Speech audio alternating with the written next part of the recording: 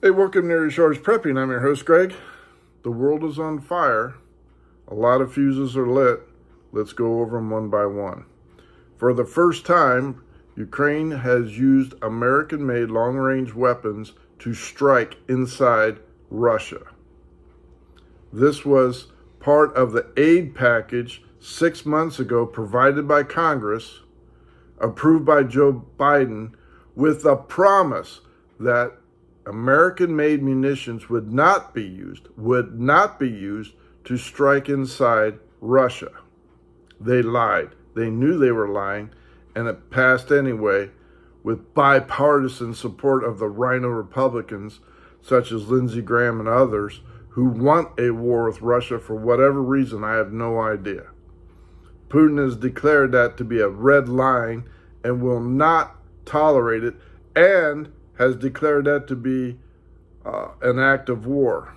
He has announced that there will be naval war games held off the coast of America, which could go wrong in so many different ways um, that could lead to real big trouble, World War III. France has also announced that they will be sending or considering sending French troops inside of Ukraine to train Ukrainian soldiers, to provide munitions to repel the Soviet, the uh, Russian soldiers. That's another red line that will be crossed, and uh, retaliation, I'm sure, will happen from Putin. He's a very serious fellow. He's not stupid, and he knows the consequences will happen the threat of using nuclear tactical weapons is very real, has been talked about. Putin's proxies on the airwaves have openly advocated the use of nuclear devices inside Ukraine. So far, obviously, that hasn't happened. Could it happen? I'm not not for sure. But that card has been played and we have to look at it. Next, and I've been warning and talking about this for over two years. Israel versus Iran, Hezbollah, and Hamas has been escalating dramatically in these past couple weeks. Joe Biden has betrayed Israel at every turn and has put stipulations on uh, Benjamin Netanyahu to end the attack on a noted terrorist organization called Hamas. So far, Israel has refused to follow any of Biden and the incompetent Antony Blinken's recommendations and edict, and rightfully so. Israel is fighting for its, its very existence. And Joe Biden and the anti Semites inside this government, mostly Democrats, are demanding a halt to the extermination of this terror organization, which, by the way, is holding seven American dual citizenships. Hamas is holding its hostages dead bodies for ransom. They either executed them or they died in captivity. These are innocent men and women that have either died or been executed in Hamas's attack October 7th. The sole purpose of Hamas is to eliminate Jews and the state of Israel you have idiots, useful idiots, here in the United States with their phony white shemaghs covering their heads saying they support Hamas. And I want you to equate this to the Nazi brown shirts of 1933, 34, and 35, who went around in their Nazi brown shirts labeling Jewish stores, organizations, banning them from activities. And this is exactly what's happening on the nation's campuses as you see these phony, idiotic students. Many of them are anarchists, BLM, uh, foreign students from those countries inciting riots on our campuses. So when you see signs from river to sea, that means the extermination of Israel and all its Jews. When they say free Palestine, it's another lie. The only way this will end is if Hamas is completely eliminated with their hundreds of miles of underground tunnels that were supposed to be aid and food to the citizens of Gaza. Instead, they hijacked those food supplies to use it to feed the Hamas soldiers, build tunnels that go into Egypt so they could smuggle arms to build rockets and fight the Israeli soldiers.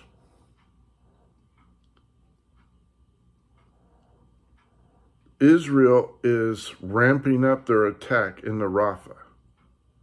It's going to come to a dramatic head here shortly within weeks. There will be a full-scale invasion inside the tunnels and around it, and you're going to see explosions that you've never seen before.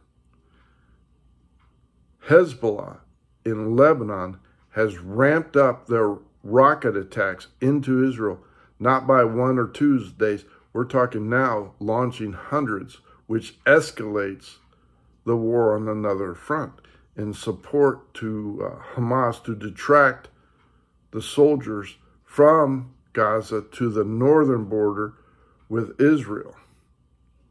It's all by design to make Israel fight on two fronts.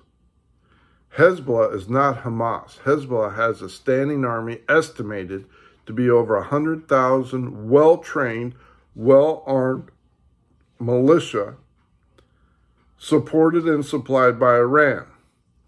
Now remember, the centrifuges in Iran are still spinning.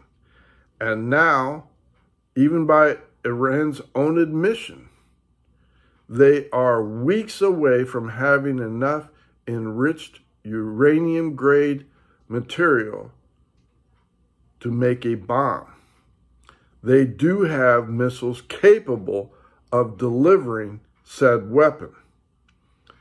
Now we are looking at Israel striking inside Iran in those underground bunkers, which would escalate the war even more dramatically. This isn't going to be sending drones in retaliation. This is going to be an all-out declaration of war once Israel feels they are close enough and are about to uh, mount the weapons on these missiles. It's going to escalate dramatically. What's happening to the state of Israel around the world? Well, the Maldives has declared there is to be no Jews in their country. They have banned any Jews from entering their countries, building businesses, or anything else. They are banned from that. You have France banning Jews in Israel from their uh, weapons show, which is an open invitation to the people around their their allies around the world to buy that. They have banned Israel from attending said show for, for their France's Defense Department. You see all that going around, and it is escalating reminiscence of World War II pre-World War II. Next, which is even more critical, it appears the worm has turned in favor of Donald Trump at the moment. And this is why we are in an extreme, dangerous period of time. And this is in my opinion. Donald Trump is, has been convicted in a kangaroo court. It will be appealed and it should be overturned. I can't say for sure because the lawlessness in the Department of DOJ is unbelievable and so deep rooted. I don't know how Trump is going to, when he wins presidency, if he wins it, is going to clean out the Department of Justice. However, the appeals court in Georgia has put a halt to the farce trial down there with that Fani Willis and everything else after they're investigating to find out what exactly went on with her uh, boyfriend slash lover, whatever, prosecutor going after Trump. The appeals court says, I smell a rat, and let's find out how deep that goes. So that has been put on hold, which the Democrats were counting on to jail Trump. That has been put on hold till after the elections. Jack Smith, the notorious thug and liar, the appointed uh, investigator, prosecutor, is now on hold as well. The judge has said, wait a minute, let's take a look at exactly what you have done and what you are doing by, muni- by manipulating the uh, Florida case records and photographs with the FBI, with the help of the FBI. They are also looking at is was he appointed legally, which many constitutional scholars say no, he wasn't. And it's all coming down through the appeals court that lawfare is not going to be working at this point to convict Trump and get him off the campaign trail. They weren't counting on that. The reason why now I say it's even more dangerous is they were counting on having Trump in jail or in prison or home confinement. Now that that's backfiring through the cases, other than the New York case, what are they going to do about Trump? You see the press now turning on Trump with uh, magazine articles and newspaper articles saying that he is cogn- cognitively impaired and behind the scenes, hidden from the public, the guy's an incompetent fool, which we all know and see could just tell. What are they going to do? Are they going to initiate World War III to keep that commander in chief, the incompetent fool, in the White House? Are they going to assassinate or attempt to assassinate Trump so he can stay in the White House? Are they going to remove Biden after he fails his debate with Trump? And are they going to replace him at the Democratic convention, which, by the way, is going to be held over the internet because of the anarchist in the white shemagh saying we're going to protest the DNC convention. So the cowards that they are are going to do it over the internet and uh, live show instead of actually having real people there. We are in an extremely dangerous time for America. Censorship has ramped up around the world. One initiative just failed in Australia to censor opposing views on their government. They actually were going to censor opposing views and videos in opposition of the Marxist government installed down under. And that initiative failed, thank goodness.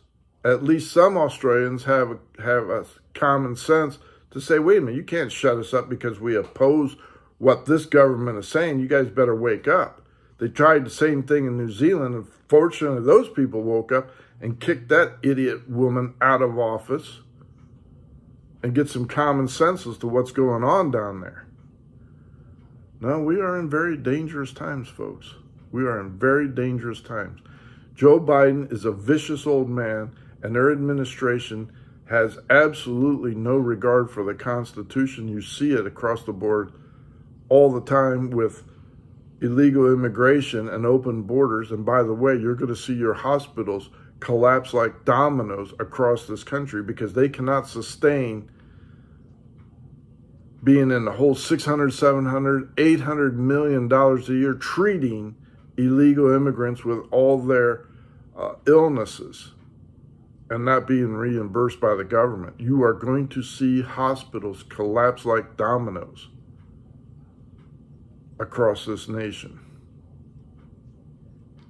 Things are come, going to come to a head, and we are in extreme dangerous times with immigration, world war, the saboteurs here in the United States waiting for their cue to start setting things off, the collapse of our medical system, and it will collapse. Crime on increase dramatically. All you have to do is look in New York. Two police officers were shot by an illegal Im immigrant, arrested 29 times and released by this Biden office. There's no respect for our law.